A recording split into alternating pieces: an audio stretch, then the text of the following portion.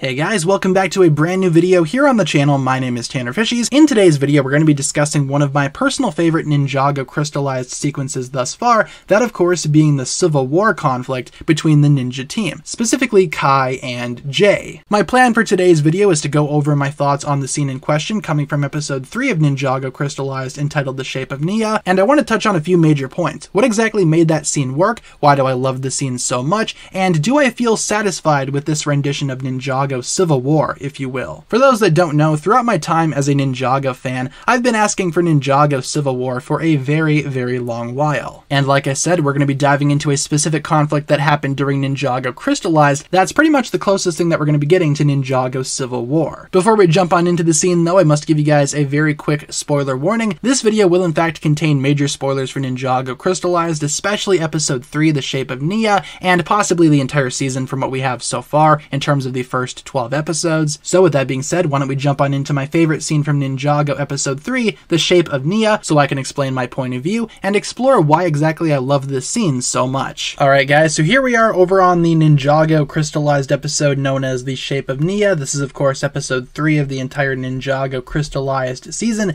and this is the scene that I want to take a look at right here, featuring the ninja after they just got back from, I guess, being beaten by the new fake ninja, or as I call them, the Starburst ninja, and here's where we we see the conflict grow. Now, like I said, I just want to give my thoughts on this scene, talk about the themes of tension, conflict, and betrayal in this scene uh, specifically, and I just love how this scene is constructed. All of the ninja are going through some type of hardship here, with each other as well. Not only is the conflict within themselves, but they also have tension between each other. For example, Zane and Lloyd here get into a little bit of an argument. Zane is kind of indifferent over the new ninja, since of course he disabled his emotion chip or whatever. Lloyd is absolutely absolutely losing his mind. He can't stand being replaced or forgotten, and he loses it at Zane, asking him if he even cares. And I just love Zane's Zane's reaction to this entire situation. He's like, "Do I care? Um, not really. I'm kind of indifferent on everything right now because my name's Zane. That's how I operate." Even Jay and Kai are kind of shocked by Lloyd and just how much he lashes out at Zane. The conflict may be very much one-sided from Lloyd's perspective. Zane doesn't really care, but I just love how Cole is being used here as sort of the heart of the group, the rock that basically brings the entire team together. No pun intended, of course, because Cole is the Earth Ninja, but Jay even pipes up here, talking about how each of the ninja is experiencing grief in their own way, and Kai finally lets his feelings get loose as well. We saw this during episode 1 of Crystalized as well, when the ninja eventually went ahead and rescued Jay from the lighthouse. You could see that Kai gave Jay that look of anger, maybe even disappointment, at the sight of what Jay was doing with all of these water glasses, which I'm sure you guys know uh, is basically basically the only way Jay feels connected to Nya. Kai accidentally spills one here because, of course, he's Kai, and that's just the type of thing that he does. Now, obviously, it was indeed an accident over on Kai's end, and Jay is not having any of it. Even though it may have been an accident, Jay absolutely loses it here. Kai tries to apologize, but Jay is not having any of it, and uh, this is where this is where the real conflict starts here, folks. This tension between Kai and Jay is definitely a lot more, I guess, prevalent, a lot more obvious than the conflict between Lloyd and Zane.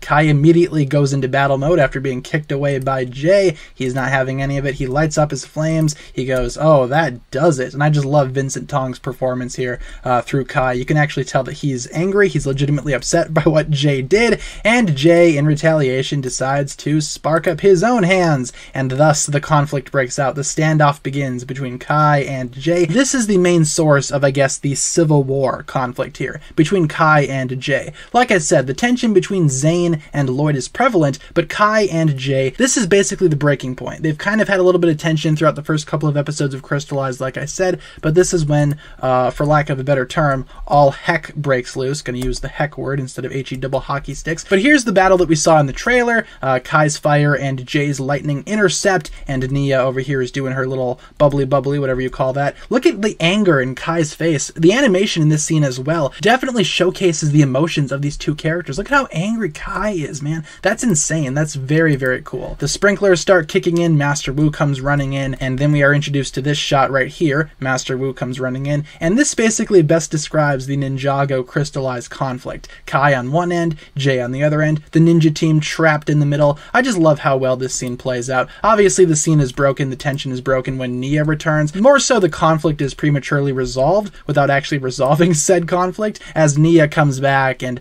beckons to Jay, hey, I need help, bro. I'm falling apart because I'm Nya and I'm made of water. This is what I do. You could also argue that maybe the scene continues here. The Civil War tension continues between the ninja team when Zane freezes Nya. Jay kind of lashes out at Zane uh, immediately after Zane freezes Nya, But obviously that tension gets wrapped up pretty quick. The main source of conflict between the ninja team in this episode is definitely between Kai and Jay, but I enjoyed just how broken the entire team is. Like Jay said, the ninja are all dealing with Nya's loss a little differently, and there's a lot of other problems on top of just Nya not being here. The ninja are being replaced, Lloyd's questioning his leadership, half the team doesn't even want to be there, Zane has turned off his emotion meter, and Cole is just trying his best to hold the entire team together. You gotta feel bad for Cole, man. I just love how Cole actually acts like a leader here uh, for the first time in a long time. That was refreshing to see. But overall, guys, I loved the tension in this scene. I'm kind of disappointed that the Civil War conflict from Ninjago was wrapped up a little bit early, dare I say,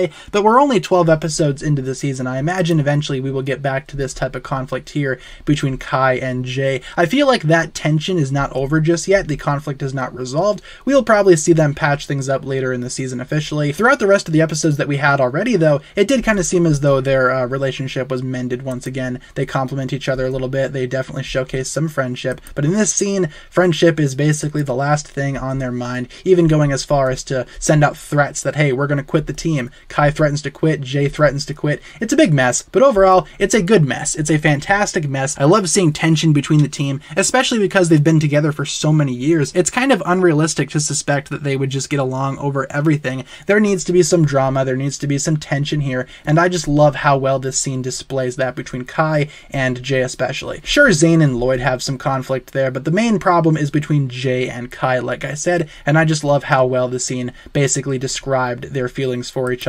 and their feelings towards the entire situation. And with that being said, guys, that'll pretty much wrap it up for my thoughts in today's video. Just wanted to make a quick video going over this scene because it's one of my favorites from Ninjago Crystalized so far, and I just love just how emotionally driven this scene is, and I think it only does good for the ninja. But like I said, guys, that'll pretty much wrap it up for my thoughts here today. Leave all your thoughts about this scene down below in the comments. I'm curious to hear what you guys think about this entire situation. Do you think that Civil War, uh, Civil War in heavy quotations, wrapped up a little too quickly, or do you think this tension between Kai and Jay, and of course the rest of the ninja, was enough to, I guess, give Ninjago fans that Civil War type feeling? Leave all your thoughts down below in the comments, you guys. Hopefully you enjoyed today's video, and that'll pretty much do it for my thoughts here today. Thanks a lot for watching. Leave a like and subscribe, do all that fun stuff, and I'll talk to you guys again later. Peace.